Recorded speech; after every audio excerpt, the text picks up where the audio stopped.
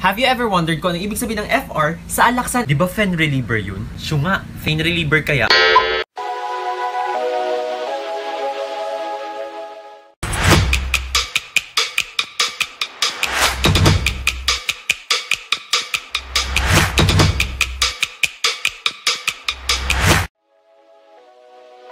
Here are some medicine that require specific time kung kailan mo dapat silang iinumin para ma-achieve mo yung 100% effect ng gamot. Yung mga gamot for acid reflux like omeprazole. Sabi ni Doc, i-take mo daw to 30 minutes bago ka kumain ng agahan. Pero bakit? Because omeprazole works by reducing yung hydrochloric acid release sa loob ng stomach natin by inhibiting yung mga proton pumps na tinatawag. Kaya naman kapag ininom mo siya after meals, by the time na dumating na siya sa stomach mo, masyado na madaming acid production. A 30 minutes to 1 hour interval is enough para mag-take effect yung gamot. Another example is yung ginagamit ni Lolo at Lola pang pababa ng kolesterol nila. Specifically, simvastatin. Sabi ni Doc, sa gabi daw niya inumin bago siya matulog. Bakit kaya? Etong mga gamot kasi na to, pinipigilan nila yung production ng cholesterol sa liver natin. At tuwing gabi kung kailan mababa ang dietary intake, doon mataas ang production ng cholesterol. Ilan lamang to sa mga dahilan kung bakit dapat tayo makinig sa instructions ni Doc.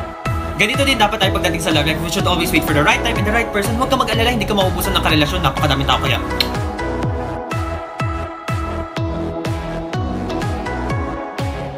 Have you ever wondered kung ano ibig sabihin ng FR sa alaksan? Di ba fen reliever yun?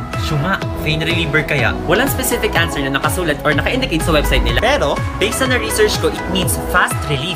Kasi as fast as 15 minutes, kayang umepekto ng gamot na to. Sa mga gumagamit ng Aspilet EC, alam niyo ba kung ibig sabihin ng EC? It means enteric coated. It is a type of tablet coating para hindi ma-dissolve at ma-absorb yung aspirin kapag dumadaan ito sa looban ng stomach natin. Kasi to take effect, aspirin should be absorbed in the small intestine. It is also used to prevent bleeding at saka yung stomach ulcers na pwede maranasan kapag gumagamit ng aspirin. Bakit may mga Ambroxol na inom 3 times a day? Bakit ito Mucosolvan 24 hours once a day lang? Because they are formulated as sustained release capsules. Pinapababa niya yung dami ng kapsula na kailangan mong inumin sa looban ng isang araw without reducing its effect. Pinapataas naman niya yung patient compliance o yung pagsunod mo sa pag-inom ng gamot. Ang TikTok na ito ay hindi sponsored pero brands, baka naman.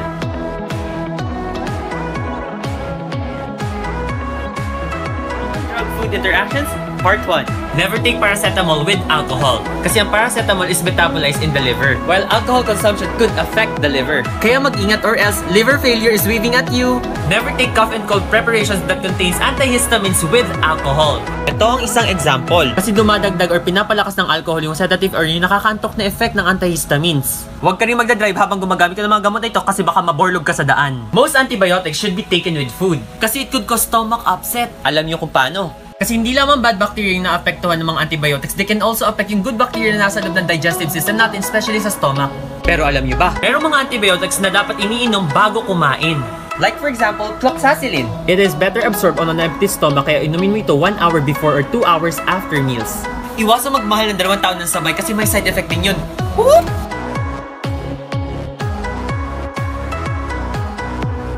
Mga good to know tips, part 2. Have you ever wondered bakit meron tayong creams and ointments? Like for example, itong preparation ng mometasone, may cream at may ointment. Bakit kaya? Ang creams kasi are mostly water-based. Applicable silang gamitin sa mga skin conditions na mamasa-masa or yung mga wet lesions. And since water-based sila, it evaporates quickly. Mas mabilis din siyang ikalat sa balat kaya mas maganda siyang gamitin sa mga sites na may large surface area. On the other hand, ointments are oil-based, making them more effective sa mga dry skin conditions. They can prevent water loss by trapping moisture. Kaya tumatagal sila sa balat natin at mas na-absorb ng skin natin. Speaking of ointments and creams, naglabas ng advisory ang FDA when it comes to BL creams. Considered siya as a prescription drug, meaning kailangan mo ng reseta. Ito oh, nakalagay dyan oh. Ayan oh. It contains a topical steroid called clobetasol propionate. Never apply this to your face or your armpits at saka sa singit. Lalo na sa mga infected na sugat. Never use this product for more than 2 weeks in a row.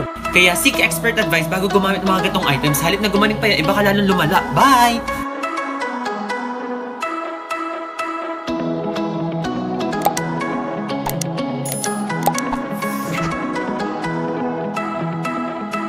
Asked kung yung mga doktor daw kapag bumibili ng gamot sa butika, lalo ng mga antibiotic, kung hinahanapan pa daw namin ng reseta. And the answer to that is yes, kailangan nila mag-present ng reseta kahit sulat pa nila yon. Kasi once na bumibili ka sa butika, you're treated as a customer or as a patient. Hindi palibasa doctor ka, nurse ka, o kaya pharmacist ka, eh exempted ka sa rule. Pero nakakalungkot, hindi sa lahat ng pagkakataon ay naiintindihan ng mga healthcare professionals yon. Pabili naman akong tatlong pirasong azithromycin. Ah, okay po. Pwede patingin na lang po ng reseta nila. Ha? Kailangan pa ba yun? Eh, doktor naman ako. Ito yung ID ko.